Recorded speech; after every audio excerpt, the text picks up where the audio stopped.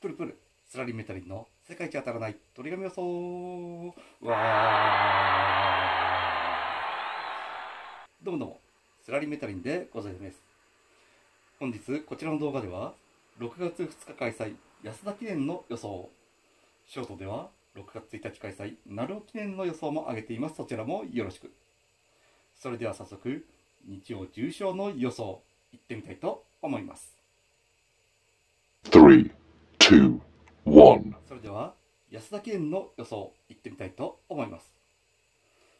前走ローテは G1 が中心と見ていいでしょう。海外組は紐として押さえておきたいところですが G2 組も気をつけたいところではあります。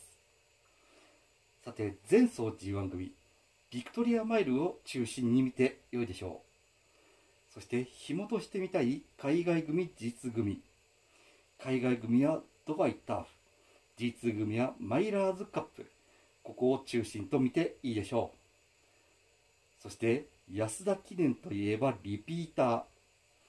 直近5年で毎年必ず発生しており今年も発生を期待して良いでしょう。ということで本命にするのは17番セリフォスです。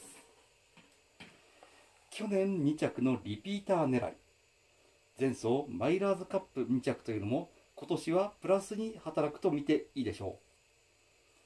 紐ですがこちらの5頭4番ジオグリフ5番ナミュル7番ロマンティックウォーリア10番ソウルラッシュ12番フィアスプライドこちらに流してみたいと思います。